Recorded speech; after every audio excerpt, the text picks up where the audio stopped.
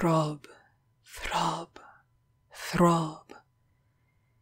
Far away in the blue transparent night, On the outer horizon of dreaming consciousness, She hears the sound of her lover's nearing boat, Afar, afloat, On the river's loneliness, Where the stars are the only light.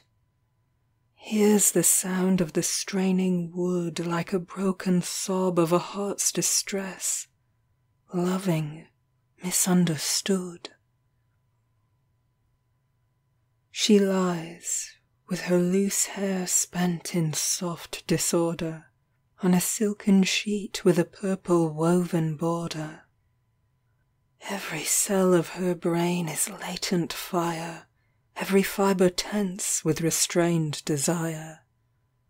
And the straining oars sound clearer, clearer, The boat is approaching nearer, nearer. How to wait through the moment's space Till I see the light of my lover's face? Throb, throb, throb. The sound dies down the stream, Till it only clings at the sense's edge Like a half remembered dream.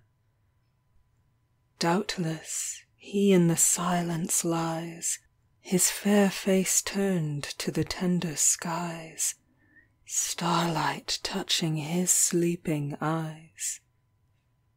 While his boat is caught in the thick set sedge, And the waters round it gurgle and sob, Or floats set free on the river's tide, Oars laid aside. She is awake and knows no rest. Passion dies and is dispossessed Of his brief despotic power. But the brain, once kindled, would still be afire Were the whole world pasture to its desire.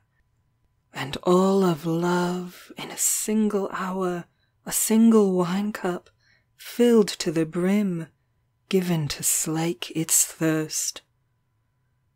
Some there are who are thus wise curst. Times that follow fulfilled desire Are of all their hours the worst. They find no respite and reach no rest, Though passion fail and desire grow dim, No assuagement comes from the thing possessed, For possession feeds the fire. Oh for the life of the bright hued things Whose marriage and death are one! A floating fusion on golden wings, Alit with passion and sun! But we who re marry a thousand times As the spirit or senses will, In a thousand ways, in a thousand climes, We remain unsatisfied still. As her lover left her, alone, awake she lies, With a sleepless brain and weary, half closed eyes She turns her face where the purple silk is spread, Still sweet with delicate perfume his presence shed. Her arms remember his vanished beauty still, And, reminiscent of clustered curls, her fingers thrill.